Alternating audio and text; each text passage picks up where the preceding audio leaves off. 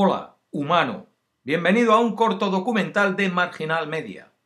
La Constitución mexicana, en su artículo 2, dice Esta Constitución reconoce y garantiza el derecho de los pueblos y las comunidades indígenas a la libre determinación y, en consecuencia, a la autonomía para elegir, de acuerdo con sus normas, procedimientos y prácticas tradicionales, a las autoridades o representantes para el ejercicio de sus formas propias de gobierno interno. El 15 de abril de 2011, el municipio de Cherán, en el estado de Michoacán, decidió hacer uso de este derecho a autogobernarse, no porque fuesen expertos en leyes, sino porque estaban hartos de lo que tenían. Ese viernes, un grupo de mujeres acudieron a escuchar misa con la salida del sol al templo de El Calvario. Al acabar la misa, el cura les dio la bendición. Salieron de la iglesia y a eso de las ocho y media de la mañana se pusieron a apedrear a la primera camioneta que vieron bajaba del monte cargada de madera. Intentaron detener la siguiente camioneta. La camioneta hizo amago de atropellarlas y ellas comenzaron a golpear la camioneta con palos. Retuvieron a sus ocupantes. Las campanas de las dos iglesias del pueblo comenzaron a repicar y la población comenzó a congregarse. En pocos minutos el pueblo se levantó en pie de guerra. Sus habitantes empezaron a bloquear las calles para evitar el paso de los camiones y camionetas cargados de madera. El presidente municipal, acompañado de la policía local, se presentó donde se iniciaron los acontecimientos y reclamó liberar los madereros que las mujeres habían retenido. La respuesta de los congregados fue desarmar a los policías e ignorar al presidente y al ayuntamiento que representa. Desde ese momento, el ayuntamiento y la policía municipal dejan de existir como tales para los habitantes de Cherán. Hoy, siete años más tarde, siguen sin existir ni presidente, ni policía municipal, ni los partidos políticos que pensamos son la base de la democracia. ¿Cómo es posible? Cómo funciona Cherán, cómo les va a sus habitantes. Podemos aprender algo de su experiencia, sobre todo ello va este corto documental.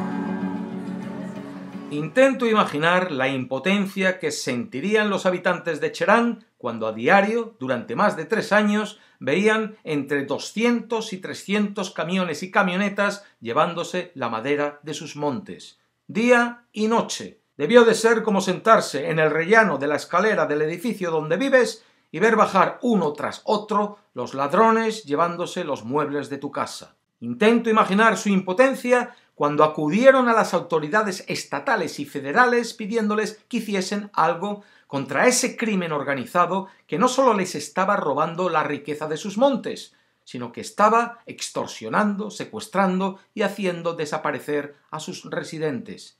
Y las autoridades les ignoraron. Su presidente, Felipe Calderón, había declarado guerra abierta al crimen organizado, y ellos, cheranenses, en el estado de Michoacán estaban precisamente en el epicentro de esa guerra. Al menos algo aprendieron de ese rechazo que ya nunca olvidarían. Si el poder político nos ignora, es porque de alguna manera el poder político está tras esto que nos está pasando. Los cheranenses acabaron abandonados a su propio destino, destino que los criminales ya habían decidido por ellos. Pasaban los camiones y nos decían, ahorita es la madera, después va a ser el ganado después van a ser las tierras y después las mujeres. Intento imaginar la impotencia cuando tras ese primer paso adelante para reclamar justicia, cuando esas mujeres retienen a los primeros talamontes y aparece el presidente municipal con la policía local, lo hace para reclamar que se liberen a los retenidos. Es como si encuentras la fuerza para enfrentar a esos ladrones que te están desvalijando el piso y aparece el administrador de la finca con el portero diciendo que te eches a un lado, que ahí bajan los ladrones con tu frigorífico y estás estorbando en el rellano. Se entiende cómo reaccionaron los cheranenses, pero no es fácil. Se necesita, para empezar, coraje y determinación. Luego, solidaridad, compromiso y organización. Hoy los cheranenses se gobiernan a sí mismos.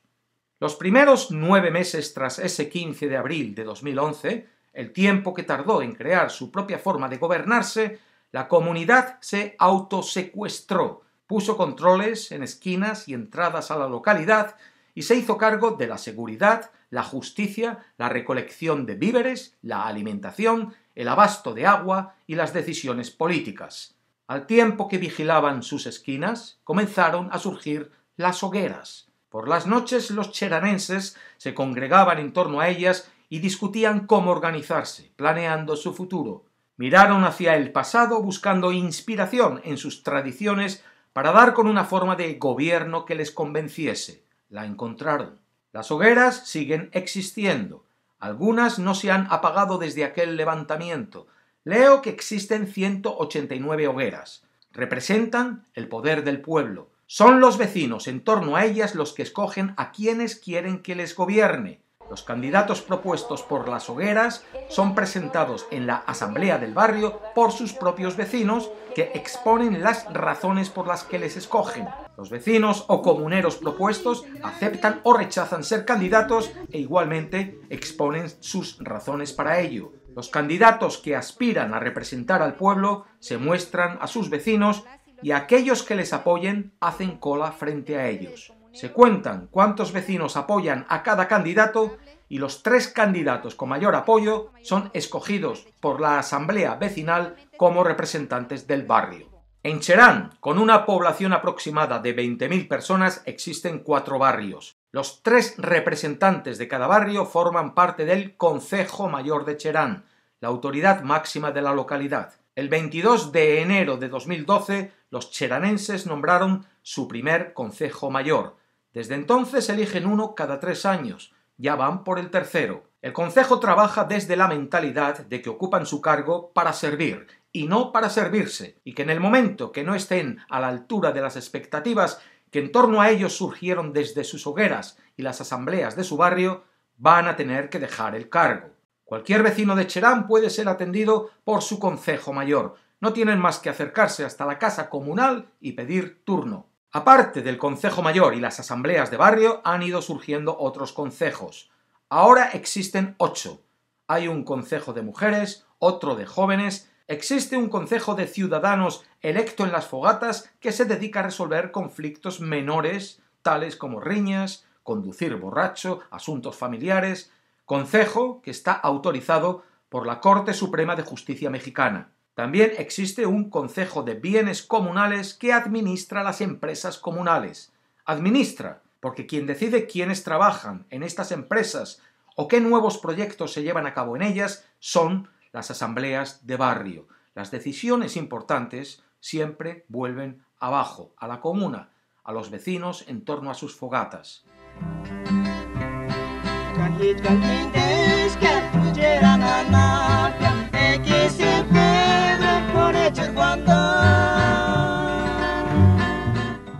¿Y qué empresas comunales existen? Un vivero, que ha contribuido a reforestar ya el 80% de los montes que fueron arrasados. De 27.000 hectáreas de bosque que tenía la comunidad, el crimen organizado y los talamontes se robaron 20.000 antes que los cheranenses se alzaran contra ellos. Este vivero ya ha contribuido a recuperar la mayor parte de ese espacio, aunque el bosque emergente aún puede tardar hasta 100 años en parecerse a lo que había hace solo un par de décadas.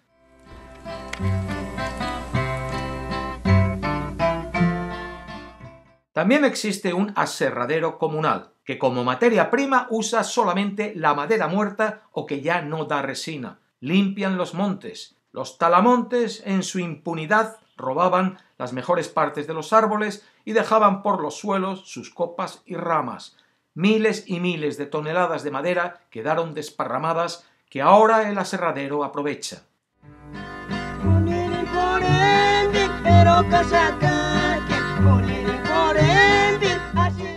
Existe una mina que produce materiales de construcción.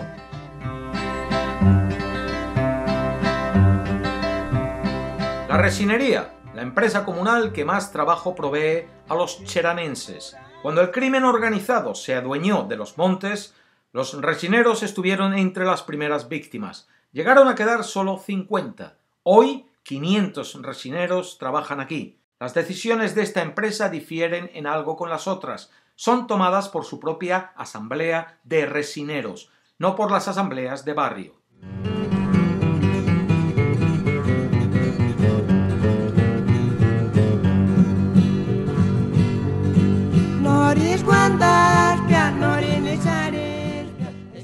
Leo, escucho, me cuentan que Cherán es hoy el municipio más seguro de México, el más limpio, que no tiene deuda pública, que tiene el colector pluvial más grande de toda Latinoamérica. Me resulta un poco difícil de creer que vaya a ser el mejor en todo, y yo no tengo manera de comprobar todo esto, pero sí es cierto que avanza con paso firme en muchos frentes. En Cherán acabaron con los secuestros, las desapariciones y la extorsión que existían hace diez años cuando al presidente municipal se le asociaba con el crimen organizado. La seguridad hoy está a cargo de 100 personas que constituyen las rondas comunitarias. Patrullan las calles, escuchando lo que la gente de las hogueras tengan que contarles y guardan las entradas a la localidad. Los cheranenses tienen muy claro lo que no quieren que entre en su comunidad. Junto a la prohibición de ingresar drogas o armas está la publicidad política. Para ellos, los partidos políticos son tan dañinos como lo que más. Los partidos políticos parten, dicen, dividen la comunidad para su propio beneficio. Su programa Cero Basura recicla la basura del 90% de los hogares. El programa tuvo éxito desde el primer mes de su implementación. Tienen tres camiones, uno para residuos orgánicos, otro para papel, cartón, vidrio y metales, y un tercero para material sanitario y artículos específicos como pueden ser las baterías alcalinas. El colector pluvial, juzguen ustedes mismos. Este es el municipio de Cherán desde el aire. Esas montañas circulares son volcanes extintos. En uno de sus cráteres han construido esto. Miren las dimensiones de este colector. Todo el agua de lluvia que esto pueda recoger le va a venir muy bien a los cheranenses. Y desde aquí, y con el tema del agua, es desde donde voy a iniciar la reflexión que quiero compartir con todos ustedes. Reflexión que surge inspirada en la admiración que el esfuerzo de esta comunidad me produce. Aquel pequeño grupo de mujeres madrugadoras que una mañana hace ya más de siete años prendieron la mecha del levantamiento de Cherán, lo hicieron porque los talamontes, en su insaciable apetito por destruir, llegaron hasta el ojo de agua del municipio, el lugar que abastece de agua potable a la comunidad. Aquello fue, casi literalmente, la gota que colmó el vaso para ellas. Proteger el agua es proteger la vida. Para entender lo que ocurre en Cherán y por qué ocurre allí y no en otro lado, hay que entender que los cheranenses son más que cheranenses, son más que mexicanos. Tú y yo podemos sentirnos hermanados con ellos, pero son diferentes a nosotros, son indígenas, son purépechá. Su manera de sentir el entorno es esta. Nosotros como, como indígenas o como purépechas hemos tenido pues relación con los bosques, con los pinos. Entonces para nosotros no es un, nada más algo que esté ahí, sino nosotros lo vemos como un hermano. Esa relación que tenemos es como le decíamos, no podemos este, tumbarlo así nada más por tumbarlo. Nosotros tenemos que pedirle permiso a él para que nos dé, pues, que nos dé su, su madera, ¿va? o su, o lo, que le tenga, pues, que, que sacar uno. Si a ti o a mí nos preguntan de dónde viene el agua, de cada 100 personas que habitan en el mundo desarrollado, más de 90 van a responder que del grifo. Más allá, ni sabemos ni queremos saber. Si un día abrimos el grifo y no sale agua, vamos a ir a reclamarle a las autoridades responsables.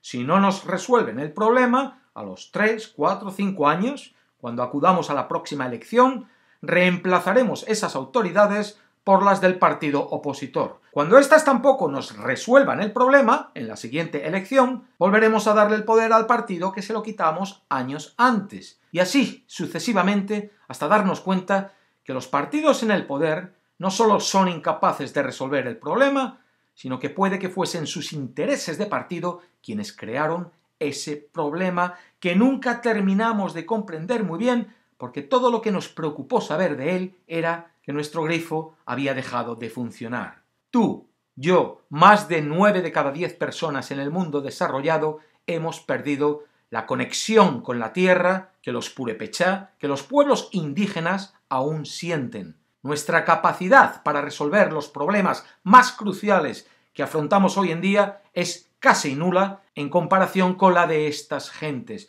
porque no podemos resolver lo que no entendemos, lo que no sentimos, lo que no nos preocupa hasta que ya es demasiado tarde. Nosotros, con nuestra formación académica, nuestros títulos universitarios y nuestros ambiciosos y avariciosos planes de futuro, estamos llevando el planeta hacia su destrucción. Estos indígenas purepechá, mirando hacia su pasado, están encontrando las soluciones intentando rescatar ese balance entre el ser humano y su entorno. El gobierno comunal Cheranqueri al tiempo que presentó su segundo informe de gobierno a la población, manifestó La transformación de nuestra comunidad depende de cada una de nuestras acciones. Hemos aprendido que de manera egoísta o divididos no podemos afrontar ni solucionar las problemáticas existentes. No podemos dejar que nos arrastren las corrientes de esta sociedad de consumo y destrucción, gobernadas por el mundo del mercado. Mantengámonos firmes en la lucha por reconstituir nuestro modo de vida. Y eso están haciendo, inspirarse en las enseñanzas de sus abuelos y sus antepasados, y les funciona. Sus voces surgen desde sus hogueras y todas las voces cuentan. Yo creo que a los purepechá, a los pueblos indígenas del mundo, hay que quitarles menos y devolverles más de lo ya robado, y escuchar sus voces y aprender de sus acciones, porque algo tienen que nosotros ya perdimos hace tiempo y hemos de recuperar aprendiéndolo de ellos, ya que es la única respuesta para salvar este mundo. Sentir el latido de la tierra y saber latir junto a ella. Hasta la próxima. La paz.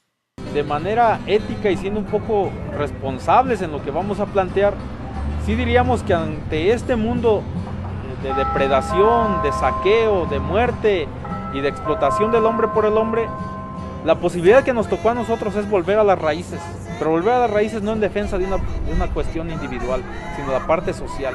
Y entonces somos parte de esta madre naturaleza, tenemos que vivir en congruencia con hacer, pues ahora sí, el respeto a la misma.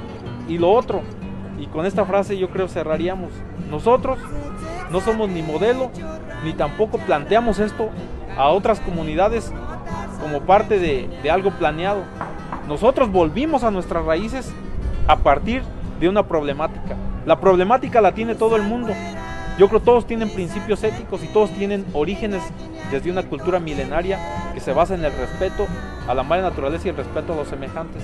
La idea es qué hacemos a partir de esta problemática y no quedarnos pues solamente en las patas del caballo de, de este de esta economía salvaje que nos, que nos está llevando pues cada día más a la muerte, ¿no?